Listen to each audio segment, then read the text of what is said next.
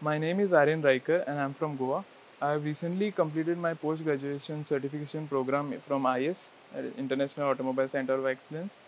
I had initially pursued my engineering in computer science, but I always had a passion for the automotive sector. So, while researching on uh, the courses accelerating this career shift, I came upon this uh, certification program from iACE. iACE had this wonderful course where they had a perfect blend of theoretical as well as practical learning. And uh, it gave me practical insights on uh, powertrain systems, uh, vehicle transmissions, suspension systems, etc. Also, with a special focus on electric and hybrid vehicles. I would also like to thank the placement uh, cell for helping me with uh, in getting a placement at Raicam Automotives Private Limited